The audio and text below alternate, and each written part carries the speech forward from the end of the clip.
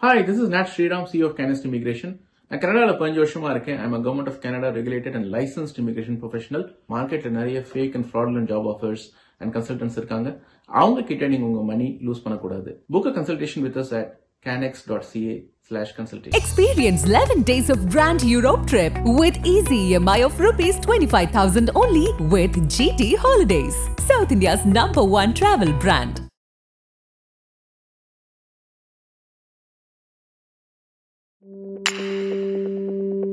Chai with Chitra.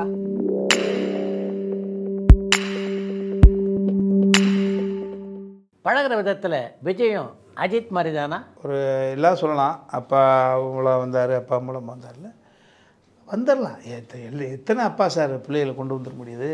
எல்லா அப்பாக்களுக்கும் தான் முயற்சி பண்றாங்க. முயற்சி. எல்லா கவுன்சிலரும் தான் தன் பிள்ளையை சிஎம் ஆகணும்னு நினைக்கிறாங்க. முடியுமா? நீயே கவுன்சிலராக தானே இருக்க. அது இல்லை. அவருடைய தனித்தன்மை. அவருடைய தனித்தன்மை நம்மளுக்கு இத்தனை கோடிக்கணக்கான ரசிகர்கள் இருக்கிறாங்க. அந்த ரசிகர்களை திருப்திப்படுத்த வேண்டும் என்பதற்காக அவர் தந்த உடம்பை ஃபிட்னஸ் ஃபுட் கண்ட்ரோலு இந்த ஃபிட்னஸ் மெயின்டைன் பண்ணுறது அந்த கஷ்டப்பட்டாத கஷ்டப்பட்டாது அந்த டான்ஸ் ஆடுறது அதை தாண்டி காலப்போக்கில் அப்படியே அது அந்த ஞானம் அல்லது முதிர்வு சரி ரைட்டு இன்னொரு பத்து பதினஞ்சு வருஷம் ஆனால் நம்மளுக்கும் முதுமை வந்துடும் எம்ஜிஆரும் செத்தான் போயிட்டார் எல்லாரும் போயிட்டாங்க. அப்போ அடுத்து ஏதாவது மக்களுக்கு ஏதாவது பண்ணணுன்ற அவரோட அடுத்த சிந்தனை.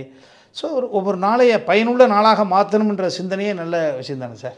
ஸோ அந்த வகையில் அவர் அவருடைய ரூட்டு வேறு. மக்களோட இன்ட்ராக்ட் பண்ணி ஒரு ஸ்டேஜில் வந்து மணிக்கணக்கில் நின்று அத்தனை பேருக்கு கிஃப்ட்டு கொடுத்து போய் இறங்குறதுன்றதெல்லாம் அப்படியே அப்பா யார் அவர் போய் சொல்ல இல்லை அவர் நிற்கிறார்ல ஓ இத்தனை பேரை நின்று சோர்வு தட்டினாலும் அத்தனை பேரையும் அந்த ஸ்டேஜில் வந்து சந்தோஷப்படுத்தி அனுப்புறது என்பது அத்தனை இதயங்களை சந்தோஷப்படுத்துகிறாரு அது அந்த வகையில் அவர் அவர் வேறு ஒரு தனித்தன்மை கொண்டவராக இருக்கார். தம்பி சூர்யா நீ அகரம் ஃபவுண்டேஷன்லாம் சார் ஏ அப்பா. பெரிய சர்வீஸ் என்ன சர்வீஸ் சார் அந்த அகரம் ஃபவுண்டேஷன் மாதிரி ஒரு விஷயத்தை உருவாக்கிட்டு எத்தனையோ அந்த ஃபவுண்டேஷன்லேருந்து படித்து படித்து வெளியே வந்து அவன் கல்யாணம் பண்ணி அவங்க அம்மா அப்பாவை காப்பாற்றி அடுத்த தலைமை நகர்த்தி போயிட்டு இருக்கிறதுல அது அவ்வளோ பெரிய புத்தகங்கள் போடலாமே.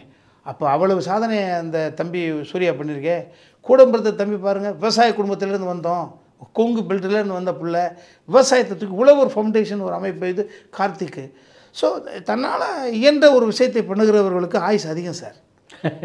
அப்படி தான் நினச்சி ஒரு கமிட்மெண்ட்டுக்குள்ளே தன்னை வச்சுக்கிறது என்பது கமிட்மெண்ட்டுக்குள்ளே உங்களுக்கு யார் சார் இப்போ கேட்டால் இவ்வளோ பெரிய விஷயங்கள் இருக்குது ரெண்டு பாப்பா தான். ஏ உள்ளது போதும்டா. காலங்காலத்தில் எழுந்திரிச்சுமா? வாக்கிங்கை போடு. எட்டு மணிக்கு ஒரு கிரீன் டீயை போடு. ஒம்பது வரைக்கும் பேப்பர் பிடி. ஒம்பது முக்கால் மணிக்கு சாப்பிடு. பத்து மணியில் பத்தரை வரைக்கும் நியூஸ் பார்த்துட்டு பதினோரு மணிக்கு அப்புறம் போடு ஆசனத்தை. ஒரு பன்னெண்டரை மணிக்கு எழுந்திரிச்சு எலுமிச்சி ஜூஸை குடிச்சு விட்டு ஒரு ஒன்றரை மணிக்கு நல்லா சாப்பிட்டு மறுபடியும் மூணு மணிக்கு சாப்பிட்டு மூன்றரை மணிக்கு மனசுக்கு பிடிச்ச நண்பர்கள்ட்ட அஞ்சு மணி வரைக்கும் பேசிட்டு அஞ்சு மணிக்கு ஒரு வெயில் கம்மியாயிடுச்சா? ஒரு வாக்கிங் போடுங்க ஏழை போட்டு ஒரு ஏழு மணிக்கு வந்தோமா? நச்சுன்னு ஒரு இன்னைக்கு எந்த புது படம் வந்திருக்கப்பா? போடுங்க பார்த்துட்டு ஒம்பது மணிக்கு தூங்கிட்டு நகத்தாலாமே சூப்பராக அப்படி இல்லை வாங்க. இன்றைக்கி நான் வந்து என்ன சொல்கிறது வெளிநாடுகளுக்கெல்லாம் போகிற பொழுது என்ன சார்? என்னையே கேட்பாங்க என்ன சார்? சித்ராலட்சுமி சாருக்கு என்ன என்ன நீங்கள் கொடுக்கலையா? பெரிய விஷயம் இல்லை சார். ஏன்னா நீங்கள் அவ்வளவு விஷயங்கள் பெரிய புத்தகம் இல்லை சார். ஃபிலிம் நியூஸ் ஆனந்தன் ஐயா அடுத்து இந்த சினிமாவை எல்லாம் தெரிஞ்சு இப்படி உட்காந்துக்கிறது எங்களை உலர விட்டு நீங்கள் வேடிக்கை பார்க்குறது. அது அது ஏன்னா உங்கள்கிட்ட வர்ற பொழுது அத்தாடி இத்தனை வருஷம் ஹிஸ்ட்ரி தெரிஞ்சவரா? இவரோட இப்படி ட்ராவல் பண்ணவரா? அவரோட அப்படி ட்ராவல் நம்மளாம் அண்ணாந்து பார்த்தா அத்தனை மனிதரோட நீங்கள் பக்கத்தில் உட்காந்து பாயசம் சாப்பிட்டு வர்றீங்க. அப்போ அதுதானே சார். அதுதான் நான் வந்து முத்தமிழறிஞர்கிட்ட அது சமீபத்தில் கூட ஒரு விஷயத்த ஒரு எம்எல்ஏ ஒரு புத்தகத்தை போட்டிருக்காப்புல அந்த புத்தகம் கொடுத்தாப்புல எழிலரசன் அப்படின்ற ஒரு எம்எல்ஏ. எழிலரசன் காஞ்சிபுரம் எம்எல்ஏ தம்பி. சிவிஎம் அண்ணாமலையோட பேரன். கொடுக்குற பொழுது அதை ஏகப்பட்ட யாராவது படிக்க முடியலைன்னா அந்த புத்தகத்தில் அவ்வளோ விஷயங்கள் கொட்டி கிடக்கு. அதில் குறிப்பாக ஒரு ஒரு பத்திரிக்கையாளர் கலைஞர் அவர்கள்ட்ட கேட்குறாங்க ஐயா நீங்கள் ஒரு பழுத்த அரசியல்வாதி. ஆனால் உங்களுக்கும் தோல்வி அடிக்கடி வருதே.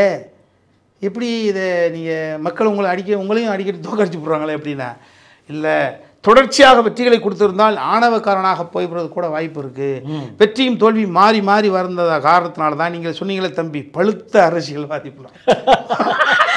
இல்லை என்ன சார்? ஒரு தனி ஆமா. சாமர்த்தியம் பதில் சொல்ல சமீபத்தில் இறையன்பு ஐயா எத்த பெரிய புத்தகத்தை கொடுக்குறாரு. ஆமாம் இறையன்பு முன்னாள் ஐஏஎஸ். ஆமாம் ஐஏஎஸ்.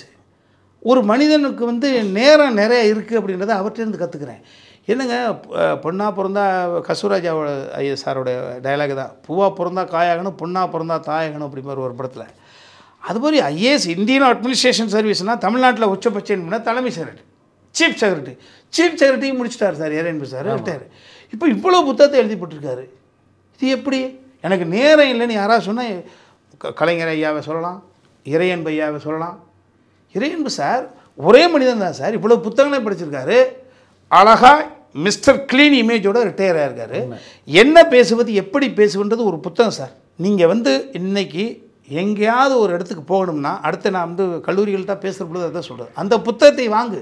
நீ வந்து கலிலியோ படிக்க வேண்டாம் ரூசோ படிக்க வேண்டாம் பெர்னாட்ஸா படிக்க வேண்டாம் திருக்குறள் தேவாரம் எதையுமே படிக்க வேண்டாம். படிக்க நேரம் இல்லைங்க இவ்வளோ புத்தகத்தை எழுதி வச்சு போயிருக்காங்க. யார் சார் படிக்கிறது? இதெல்லாம் ஒரு வேலையா? விட்டுரு கவலைப்படி. இதை படி.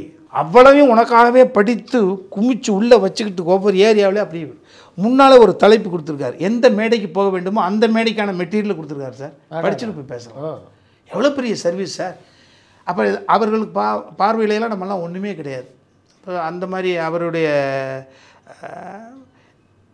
இப்படி ஒரு கமிட்மெண்ட்டுக்குள்ளே தன்னை வச்சுக்கணுன்ற ஒரு உணர்வு இருந்துச்சுனாவே போதும். இப்போ பாருங்கள் அடுத்து என்ன பண்ணிக்கிட்டு இருக்காரு யாருக்குமே தெரியாது. இப்போ பாருங்கள் கவி பேரரசு வைரமுத்து. அவருக்கு என்ன சார்? ரெண்டு அற்புதமான பிள்ளைங்க. Karthi Kapila super well settled அழகாக இருக்கலாம். கொண்டாடிக்கிட்டு இருக்கலாம். தன்னால் மண்டையை போட்டு சொரிஞ்சு கிழிஞ்சு எழுதி புத்தகமாக அடித்து குவிச்சுக்கிட்டு இருக்காரு. இந்த சமீபத்தில் பெரிய பெரிய புத்தக திருவிழா. என்ன பேசுகிறது எப்படி பேசுக்குள்ளே உள்ளே படுத்து கிடக்கிறேன்? அதுக்குள்ளே போகுது. மண்டை உள்ளே போகுது. இப்போ கலைஞருடைய வாழ்க்கை சமாச்சாரம் சாதாரண எழிலரசன் கொடுத்தது அது போயிட்டுருக்கு. நிறைய புத்தகங்கள் படிப்பீங்களா? அப்போ படித்ததுக்கு நேரங்கள் நிறையா இருந்தது. இப்போ ஒரு இப்போ நீங்கள் டேரக்டர் நாளைக்கு ஒரு படம் பண்ண போறீங்கன்னா கதையை சொல்லிட்டீங்கன்னா மண்டை முழுக்க அதுக்குள்ளே கிடக்கும். அதுக்கு ரிலேட்டடாக வாழ்வியலேருந்து எடுப்பேன். ஓ. புத்தகத்திலேருந்து எடுத்துட்டோம் அப்படின்னா கொஞ்சம் ராவாக போயிடுமோன்னு பயம். வாழ்வியலேருந்து எடுக்கிறப்ப ஈஸியாக போய் கனெக்ட் ஆகுது. ஸோ ஆமாம் அப்போ மேடைகளுக்கு இப்போ கல்லூரிகளுக்கு பேச போகிற பொழுது இந்த புத்தகங்கள் இப்போ மறுபடியும் புத்தகத்தை தூக்க வேண்டிய ஒரு சூழ்நிலை த நம்ம. எல்லா கதாபாத்திரங்களுக்கும் உங்களை நீங்கள் முதல்லயே தயார்படுத்திக்குவீங்களா? அனுபவம் தானே சார். மரணத்தை தவிர மற்ற அனைத்தையும் சந்தித்த மனிதனுக்கு கேரக்டர் என்ன பெரிய விஷயமா அது? கேரக்டர் தான் கோ கோயம்பேடில் பிரச்சனை. நம்மளுக்கு கேரட் அது ரொம்ப தெனாவட்டு கிடையாது ரொம்ப ஈஸி கோடீஸ்வரனா உடனே மாற முடியும். அப்படி திமிரு வந்து மண்டையில் ஏறும். யதார்த்தம் யதார்த்தம் சார். நான் அந்த நான் அடிக்கடி சொல்லுவேன் பச்சை தண்ணி போகிற வானம் கொடுக்கும் மழை நீர் போல என்னை வச்சுக்கிறது. நீங்கள் குண்டான வந்துட்டு குண்டான குண்டான் தண்ணி ஆக்கிடுவேன் வானம் கொடுக்கும் மழை நீர் பரிசுத்தமானது. சேரும் இடத்தை பொறுத்த நிறம் மாறுது. கரிசல் காட்டில் விழுகிற கரிசல் செம்மண் வீட்டில் விழுகிற செம்மண். குடத்தில் விழுந்தால் குடத்து நீர் சொம்பில் விழுந்தால் சொம்பு தண்ணி நதியில் விழுந்தால் நதி நீர் கடலில் விழுந்தால் கடல் நீர். ஆமாம் எனக்கு இவ்வளோ தான் இதுக்கு மேலே தாங்க மாட்டேன்னு பொங்கி வழிஞ்சானே கேரட்டு க்ளோஸ் வீட்டுக்கு அனுப்பிடுறாங்க. இல்லைப்பா என் மனசு திறந்தால் தான் வச்சுருக்கேன். இன்னும் பத்தலை. ஊத்து ஊத்து ஊத்துன்னா கடல் போல் கிடக்கலாம். கடலாக இருக்கத்தான் எல்லாரும் ஆசைப்பட்றோம். கடலாக இருக்க விடுவதில்லை. கமல்ஹாசனோட பேசக்கூடிய வாய்ப்பு அமைஞ்சிருக்கா? என்னை பற்றி இன்றைக்கும் கும்கி ஆடியோவில் வந்து அஹ், பிரபு அண்ணன் எனக்கு ரொம்ப அவ்வளோ என்னை பற்றி ஓரளவு நிறைய தெரியும். இன்னும் சொல்லப்போனால் தம்பி நீங்கள் உங்களுடைய ஆர்வி உதயகுமாரோட நான் இப்படி தான் பார்த்தேன் செய்யார் ரவி இப்படி தான் பார்த்தேன். நீங்கள் டைரக்டர் ஆகணும் அப்படின்னு சொன்ன ஆசையை கிளறி விட்டது. முதல் ஆள் அவர் தான் இல்லையா? அப்படி இருக்கிற பொழுது நான் வந்து கமல் சார்கிட்ட சொல்லிக்கிற பொழுது கும்கியில் கும்கி படத்தை பற்றி சிவாஜி குடும்ப ஐயா குடும்பத்தை பற்றி பேசிவிட்டு தம்பிராமையா கூட பற்றி நான் நிறைய கேள்விப்பட்டிருக்கேன். உங்கள்கிட்ட நிறைய பேசணும்னு சொன்னார். அதுவே பெரிய விஷயம் இல்லையா? அவ்வளோ பெரிய மேடையில். இன்றைக்கி கும்கி ஆடியோ தட்டினோம்னா கமல் சாரோட ஸ்பீச் எடுத்தால் நம்மளை பற்றி பேசியிருக்கிறது. அவரோட Indian two Indian three three ரெண்டு பா பாட்டு நினைக்கிறேன். அவரோட நடிச்சிருக்கக்கூடிய பாக்கியம் கிடச்சிருக்கு இப்போ தான் அதே நீங்கள் லால் சலாம் ரஜினி சாரோட இப்போ தான் நடிச்சிருக்கேன். மிக நீண்ட இடைவெளிக்கு பிறகு. இல்லையா அவரோட முத. ரெண்டு பேரோட முத. ரெண்டாயிரத்தி இருபத்தி நாலு நல்லா தான் இருக்குது ரெண்டு ரெண்டு நாலு நாலு எட்டு கூட்டு நம்பர் எட்டு சூப்பர் என்ன சொன்னார் படப்பிடிப்பில் ரஜினி? அவர் நம்ம லிவிங்ஸ்டன் சார் தான். தம்பியோட பாலிடிக்ஸ் பேசி பார்த்துருக்கீங்களா? அப்படின்னாரு. டக்குன்னு உட்காந்தா ஒரு நாள் கொசு கடிக்கிறது கூட தெரியாமல் அவன் ஏன் ரொம்ப அப்படியே ரொம்ப அரசியல் கேட்பாரு. அரசியல் பற்றி நம்மளுக்கு அக்குவர் ஆணி வரல சார்.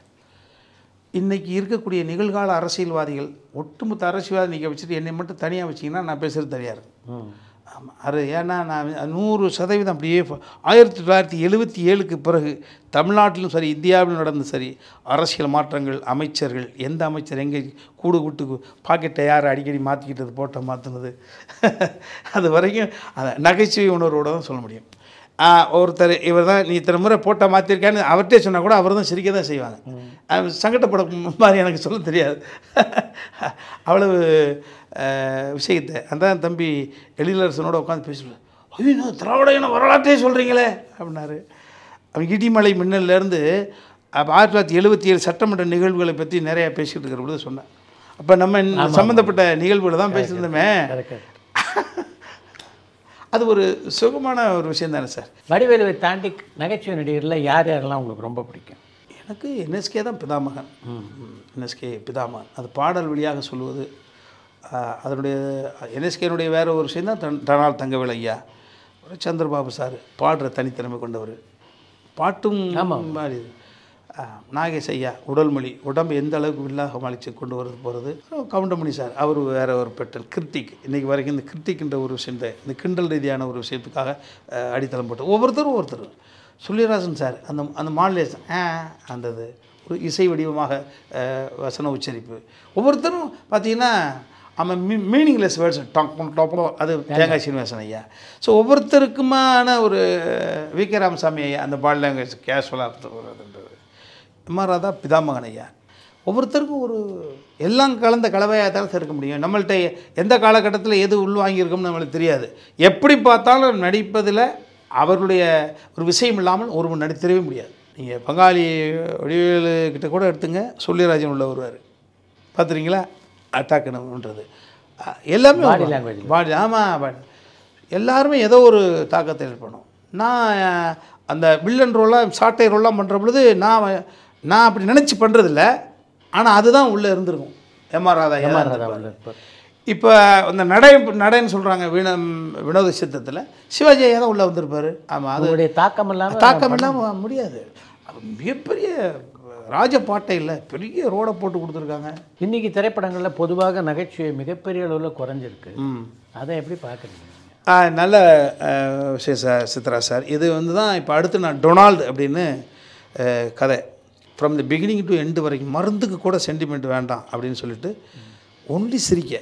இது நிறைய இடத்துல கேட்குறாங்க நீங்கள் உட்காந்தா நிறைய சிரிக்க வைக்கல தம்பிராமே சார். ஏன் இதுக்கு நீங்கள் மெனக்கிடலை அப்படின்னு? இவன் மகன் வந்து கொஞ்சம் அடுத்த கட்டத்துக்கு வந்த காரணத்தினால அவன் இயக்குனர் ஆன ஒரு பொறுப்பை அவன் எடுத்துக்கிட்ட காரணத்தினால நானும் வீட்டிலேயே அசோசியேட்டு கிடையாது அதெல்லாம் கிடையாது. என் மகளும் ஸ்கிரிப்ட் சென்ஸ் உள்ள ஆளுன்றதுனால அப்படியா? ஆமாம் ஆமாம் பயங்கர ஸ்கிரிப்ட் சென்ஸ் சின்ன வயசுல நான் காமெடி ட்ராக்கெல்லாம் எழுதுற பொழுது முதல்ல என் மகள்கிட்ட தான் சொல்லுவேன்.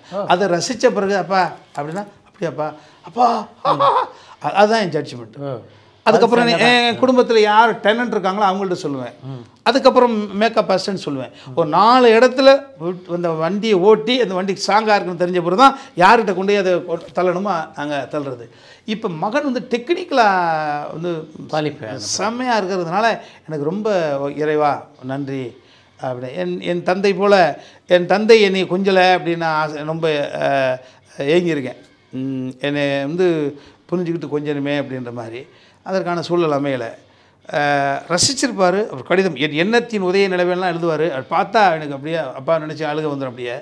அப்படிலாம் இருந்தவர் என்னை நூறு சதவீதம் இன்னும் தட்டி கொடுத்துருக்கணும். அல்லது சம்திங் நான் என்னை எனக்கு அடுத்த ரூட்டை வந்து எளிதாக காமிச்சிட்டு போயிருக்கணும். அவர் நினச்சிருந்தா அவருடைய அறிவுக்கு பட்ட அன்னைங்கள்ட்ட சொத்து கித்து வாங்குறதுனாலையும் மற்றவர்களுக்காக போராடுற போராட்டத்திலையுமே விட்டுட்டு சொந்த குடும்பத்தை இப்படி விட்டுட்டு போயிட்டாரே என்று அந்த கோபம் தான் அப்போ அந்த வயசுக்கு அதான். பட் இப்போ தான் அந்த அதுதான் அந்த ஏக்கங்கள் தான் சார். ஒருத்தருடைய வெற்றிக்கு யார் காரணம்னா அவருடைய அற்புதமான அவமானம் தான் காரணம். ஒரு வெற்றிக்கு காரணம் என்ன? கண்ணீர் தான் காரணம். ஒரு வெற்றி காரணம் என்ன? ஏக்கம் தான் காரணம். ஒரு வெற்றிக்கு என்ன காரணம்? பயம் தான் காரணம். பயம் கொண்டவனே ஜெயம் கண்டான். அப்படிதான். எது ஏக்கம் பயம் அவமானம் கண்ணீர் கூச்சம் இதெல்லாம் தான் வெற்றியாக ஒரு இடத்துல கொண்டு வந்து நிற்கிது திமுரு கீழே தானே சாய்க்கும். ஸோ ஒரு கால் எங்கள் அப்பாவோடைய அதுதான் என்னுடைய அடுத்த கட்டத்துக்குமாக நான் நினைக்கிறேன். இப்போ எங்கள் அப்பா வந்து என் மகன் வடிவத்தில் இருந்து எனது கற்பனைகளை எனது அனுபவத்தை எனது விஷயங்களை ஸ்க்ரீனில் கொண்டு வரணும் அடுத்த தலைமுறைக்கு இதை கொண்டு போய் சேர்த்துடணும். அதில் காசோ பணமோ முக்கியம் இல்லை. இந்த உணர்வுகளை கொடுத்துடணும். அது நகைச்சுவையாகவோ உணர வைக்கிறது தானே. உணர்வு என்பது உணர வைக்கிற விஷயம் தானே. உணர்த்துதல் அல்ல உணர வைத்தல். என் குழந்தைகளை கூட அப்படி தான் இருப்பேன். நேரடியாக சொல்ல மாட்டேன். இங்கே ஒருத்தர் தம்பி வந்திருந்தான்னா இங்கே சொல்லிக்கிட்டு இருப்பேன். இவன் உட்காந்து கேட்டுட்டு இருப்பான். அப்பா நமக்காக தான் சொல்கிறாரு நினச்சிப்பான். இங்கே சொல்லுவேன். இது உணர்த்துற பொழுது கோபம் வரும். உணர வைக்கப்படுற பொழுது நம்மளை பே மேலே ஒரு பாசம் வரும். ஸோ அப்படி தான் குழந்தைகளை வளர்த்தேன்.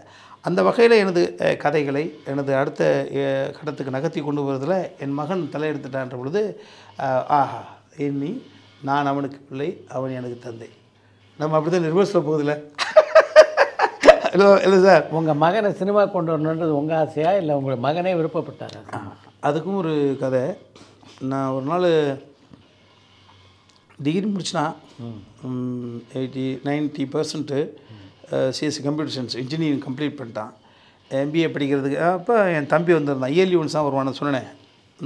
ஒரு வெளிநாட்டில் இருக்க அம்பிகா பற்றின வந்திருந்தான். ஒரு நாள் நைட்டு இப்படி உட்காந்துட்டு இருந்தோம். என்னடா பண்ணுற அப்படி கேட்டான். அண்ணன் இல்லை நான் கேட்குறேன் என்ன பண்ணுறேன் ஏதோ ஜிம்முக்கு போகிறேன் டான்ஸ் கிளாஸ் போகிறேன் அதெல்லாம் லைஃப்பில் ஒரு பார்ட் என்ன பண்ணுற ஃபர்தர் என்ன ஐடியா என்ன படிக்க போறியா வேலைக்கு போறியா? அப்படின்றான் அப்போ சொல்கிறான் எனக்கு ஒரு பதட்டம். வருஷத்துக்கு ஒரு முறை தான் வர்றாங்க தம்பிங்க. இந்த தம்பிகளாக இருக்கிறவங்கள என்னென்னா அன்னைங்களுக்கு புத்தி சொல்ல ஆசைப்படுவாங்க. சரிங்களா? எல்லாருமே எல்லாரும் எல்லாரும் ஆமாம் ஆமாம். அன்னைங்க முட்டாளாக இருந்தால் கூட தம்பிகளுக்கு புத்தி சொல்லலாம். தம்பி அறிவாளியாக இருந்தாலும் அண்ணனுக்கு புத்தி சொல்லக்கூடாதுல்ல? இல்லையா? அப்படி அன்னைங்க எதிர்பார்ப்பாங்க.